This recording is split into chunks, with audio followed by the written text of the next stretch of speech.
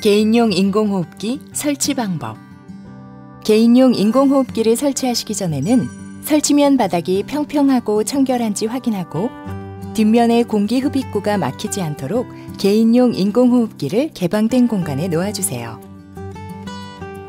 공기 흡입구 필터는 개인용 인공호흡기로 들어오는 공기 중 먼지를 걸러주는 중요한 구성품으로 기기에 반드시 먼저 장착한 후 사용해 주세요. 개인용 인공호흡기 튜브는 다음과 같이 연결해 주세요. 먼저 박테리아 필터를 기기에 설치하고 개인용 인공호흡기 튜브를 연결한 후 튜브 사이에는 의료용 온습도 조절기와 물받이 물통을 설치해 주세요.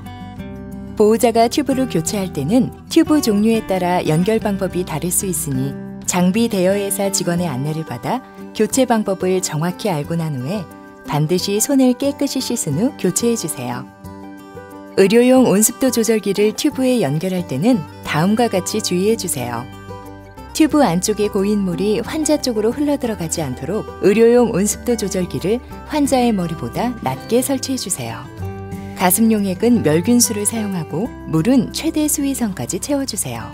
수위가 낮아지면 물을 다시 채워주시고 튜브 안쪽에 물기가 고이면 물기를 빼내고 물기가 의료용 온습도 조절기로 다시 들어가지 않게 주의해 주세요. 이동 시에는 꼭 의료용 온습도 조절기를 제거해 주세요.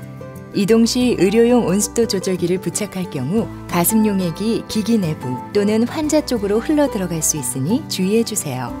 의사의 처방에 따라 의료용 산소 발생기가 필요할 경우에는 안내에 따라 의료용 산소 발생기의 튜브를 개인용 인공호흡기 뒷면에 연결해 주세요.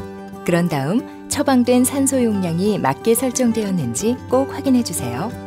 개인용 인공호흡기의 정확한 설치 방법과 다양한 주의사항을 알면 더 안심하고 사용할 수 있습니다.